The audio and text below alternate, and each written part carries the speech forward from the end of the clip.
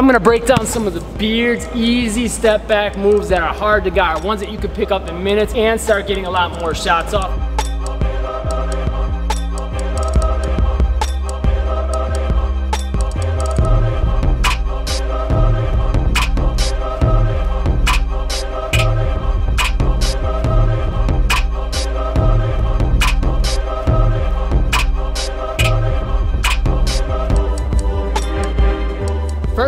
Easiest one. He does this one a ton. He's gonna dribble the basketball, same side hand and foot, come back. That's pretty much it. Step back in with that other foot, take your shot. Not much more you need to know than that. Something you can add to your game.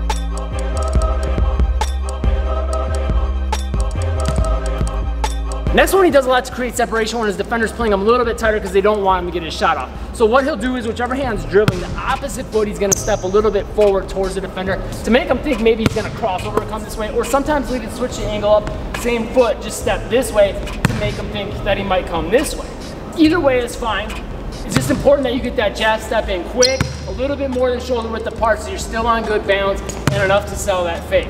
Keep the ball back here, that'll keep it protected. Besides that, you're just gonna go into that step back we just showed you before. So that back foot comes back and then this foot comes in, get buckets.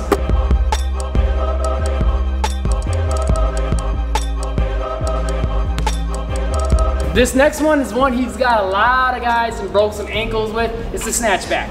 So with this one, you can do it. Sometimes he'll do it on the run, but a lot of times, you know him, he likes to do his little setup, you know, all these dribbles up here like this. So a lot of times he'll kind of lull him to sleep and make them maybe think that, okay, he's gonna go into a big move, and they anticipate that. And then all of a sudden, he'll go into one hard step here, same side foot as the hand that has the basketball, and then pull it back, and guess what's gonna happen from there?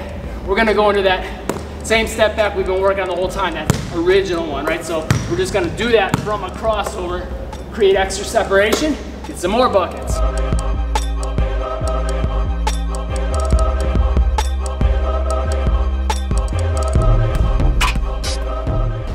Next one, once again, he'll break this out from this little setup he likes to do, and he'll take this crossover like he always does, right? So it's between the legs cross, between the legs cross. All of a sudden, he'll take a step with this foot, and he'll still go between the legs, but you can see how changing the, this step really gives it a different effect, right? So here, here, here, taking a step, still going between the legs, and then from that, boom.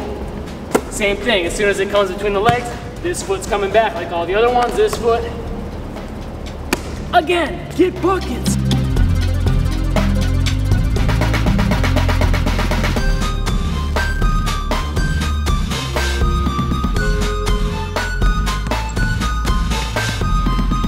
Next one takes a little bit more practice to get down, but it's super deceptive, and I think you can learn it pretty quickly.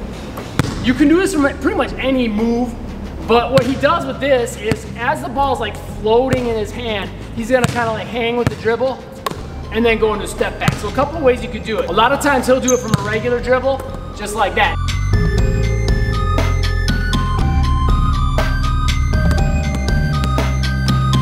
Now a lot of people think that's a travel.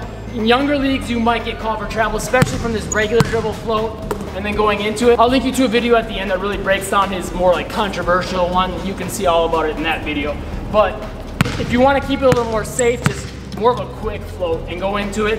Or he'll do this a lot, crossing over more forward. So he's a lefty.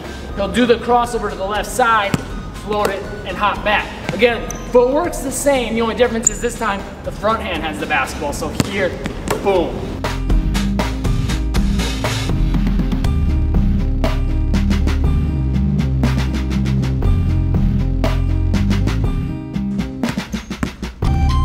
And again, he'll do this from a regular dribble too.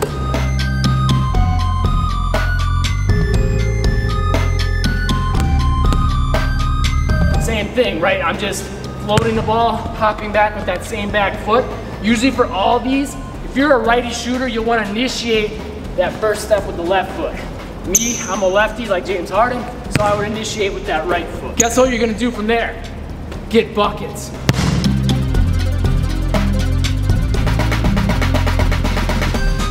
Next one's one you can actually kind of add to all the other ones. It's just an angle change. So any of those moves in this video, you might want to go back and watch them and think about how you can add this with it, but it's a side step. So instead of stepping back, you're just gonna step more to the side. Creates a little more sneaky separation that defenders don't see coming, and it gives you options to get a little bit of an angle to maybe attack and get past your defender from there if they don't close the gap as much. But same things are gonna apply, right? If I'm dribbling with the right hand, right foot's gonna step out, and from there I can go into my shot.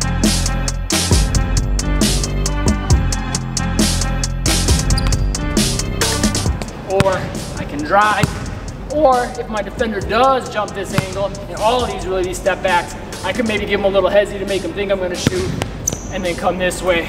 Or if they're closing out, they're too far to this side, go this way. Okay, last two, the shuffle, step back,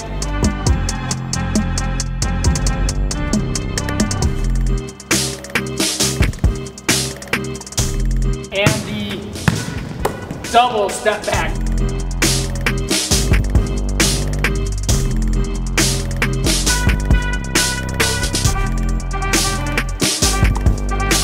Now those are a little more controversial. If you click the link that I'll have pinned to the comments, that'll have a playlist that covers his controversial shuffle step back, if it's travel or not, how you can do it legally, as well as the double step back that was a travel and how you can do that one legally. And I'll have a free ball handling workout that'll help you take your handles next level in that comment as well. Subscribe and click the bell icon to catch the newest videos, and I'll see you in that playlist and that free workout next.